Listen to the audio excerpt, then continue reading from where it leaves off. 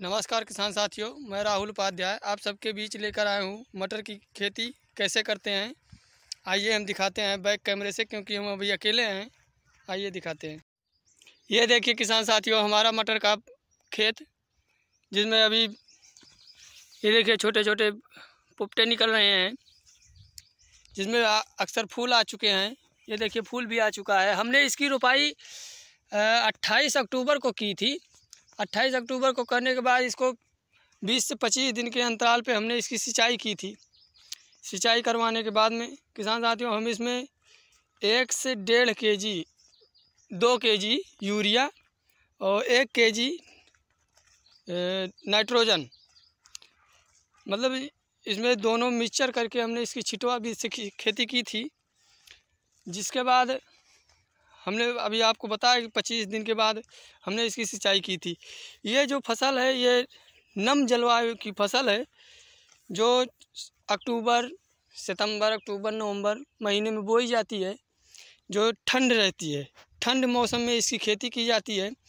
और हम बताना चाहते हैं, किसान साथियों पूछते हैं कि मटर के साथ साथ हम इसमें अन्य खेती कौन सी कर सकते हैं? तो हम किसान साथियों को बताना चाहेंगे, हमने इसमें खेती की है, लौकी की। ये देखिए, लौकी का पौधा। ये जो लौकी का पौधा है हमारा, आज इसमें बीस बाईस दिन का हो गया लौकी का पौधा। जब इसमें मटर की कटाई हो जाएगी, अभी तो इसमें पोपटे आ रहे हैं। पोपटे आने के बाद इसकी कटाई होगी।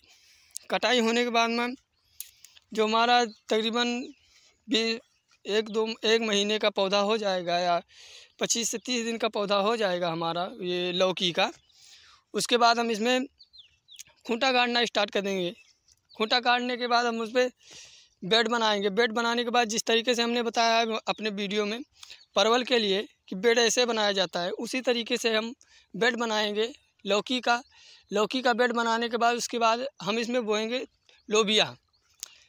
किसान साथियों, हम ये बताना चाहते हैं, अगर आप खेती करना चाहते हैं तो कोई भी समय या कोई भी मौसम ऐसा नहीं होता कि जिसमें आप खेती कर ना सकें। आप अगेती खेती भी कर सकते हैं।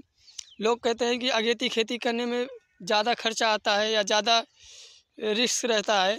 तो हम बताना चाहेंगे किसान साथियों को, इसमें ना ही ज़्यादा रिस्क है, ना ही ज़्यादा खर्चा है। देखिए, हम जब 28 अक्टूबर को इसकी बुआई की थी अट्ठाईस अक्टूबर को करने के बाद आज तक हमने इसमें ना तो कोई दवा का प्रयोग किया है, ना कुछ। लोग कहते हैं कि अगेती खेती करने के लिए इसमें दवा का प्रयोग अधिक से अधिक किया जाता है। तो हम किसान साथियों को बताना चाहेंगे कि मटर की खेती करने के लिए कोई भी समय आपको अनुकूल रहता है। ये ध्यान दीजिएगा कि वो समय नम जलवायु का समय होना चाहिए। और इसके बाद लोग कहते हैं कि एक बीघे में या एक एकड़ में कितनी बीज की आवश्यकता होती है। तो ये हमारा एक बीघे का प्लॉट है। ये हम दिखाना चाहेंगे किसान साथियों को, ये देखिए। ये हमारा एक बीघे का प्लॉट है। एक बीघे में हमने चार से पाँच के जी मान चलिए साढ़े चार के जी हमने लोग कई कई जगह पर लोगों का बीघा जो होता है वो बड़ा भी होता है, छोटा भी होता है। तो बीस बिस्वे को एक बीघा हमारे यहाँ कहते हैं। बीस बिस्वे में हमने इसमें चार से पाँच के जी डाला है। पाँच के जी मान लीजिए, पाँच के जी डाला। पाँच के जी में हमने इसमें सबसे पहले किया था कि जी एस टन मटर लाई। मटर लाने के बाद में हमने इसमें पानी में भिगो दिया। पानी में भिगोने एक से दो दिन दो दिन, चौबीस घंटे के लिए मतलब चौबीस घंटे के लिए पानी में भिगोने के बाद उसको छान लेते हैं।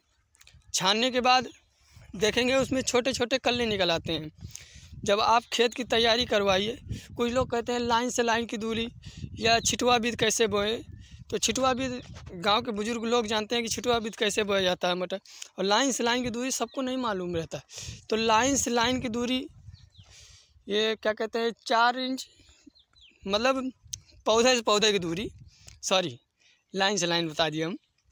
पौधे से पौधे की दूरी, जो पंद्रह सेंटीमीटर की पटरी होती है पंद्रह सेंटीमीटर, लाइन से लाइन की दूरी ये होनी चाहिए और पौधे से पौधे की दूरी पाँच से छः सेंटीमीटर मतलब चार से पाँच अंगूर होनी चाहिए। जो छिटुआ विध होती है या लाइन विध होती है, इसमें यह रहता है लाइन से लाइन की दूरी अगर आप मेंटेन करते रहेंगे, करे रहेंगे तो इसमें आपको तुड़ाई करने की कोई दिक्कत नहीं होगी। जैसे तुड़ाई करने के लिए लोग हल, आदमी तो करते हैं लोग, मज़दूर करते हैं। मज़दूर जो होते हैं वो अपनी खेती समझ के नहीं करते। तो दूसरों की खेती समझ के करते हैं, है ना? तो उसमें जो पौधा होता है वो लात पड़ जाता है, बेकार हो जाता है पौधा, जिससे कि पौधों को भी नुकसान होता है और फल भी नुकसान हो जाता है हमारा। जो पौधा नुकसान होगा तो हमारा बेनिफिट नुकसान हो जाएगा। तो इसीलिए लाइन से लाइन की दूरी मेंटेन रखिए और पौधे से पौधे की दूरी नज़दीक हो जाए, उससे कोई दिक्कत नहीं। जैसे लाइन से लाइन की दूरी आप ज़्यादा से ज़्यादा करिएगा, तकरीबन एक फीट एक फीट रहेगा तो आप उसमें आ जा भी सकते हैं। आपका जो पौधा है वो अधिक ग्रोथ भी कर सकता है। लोग कहते हैं इसमें कि खाद की आवश्यकता ज़्यादा लगती है। तो हम बताना चाहेंगे किसान साथियों कि आप यूरिया ले लीजिए एक बीघे के लिए तकरीबन चार के जी चार के जी यूरिया में आप उसमें थोड़ा सा पोटास मिला दीजिए, मान ढाई सौ ग्राम पोटास मिला दीजिए। ढाई सौ ग्राम पोटास मिलाने से ये होता है कि हमारी खेत की जो उर्वरा शक्ति होती है, उर्वरा शक्ति जो होती है उसको एग्जॉर्ब करने के लिए, पौधों को हरा बनाए रखने के लिए पोटास की आवश्यकता होती है। तो ढाई सौ ग्राम पोटास चार किलो यूरिया में आप इसको बोने से ठीक एक घंटे पहले या दस मिनट पहले, बीस मिनट पहले आप खेत में इसको छिटवा भी, छिड़का दीजिए। छिटा दीजिए। छिटाने के बाद जब आप रोटावेटर से या कल्टीवेटर से खेत बनवाएँ तो खेत बनवा लीजिए। तो उसके बाद जब बना लें तो मटर को लाइन से लाइन की दूरी तथा पौधे से पौधे की दूरी ज़रूर से ज़रूर ध्यान दें। क्योंकि ये होता है कि कुछ लोग लगाते हैं कि कहते हैं, भैया, मुनाफा नहीं आया, फ़ायदा नहीं आया। तो हम बताना चाहेंगे किसान साथियों को कि आप जब मटर की खेती करेंगे, मटर की खेती करने के बाद, जब आप मटर की खेती करेंगे, मटर खेती करने के बाद आप इसका मुनाफा देखेंगे तो हमारे तकरीबन से एक पौधे का जो खर्च होता है, एक पौधे का खर्च तकरीबन से बीस से पच्चीस रुपये आता है और एक पौधे से मटर जो होती है, नहीं, बीस से पच्चीस नहीं सॉरी एक पौधे पे जो खर्च आता है वो दो से तीन रुपये या पाँच रुपये आता है।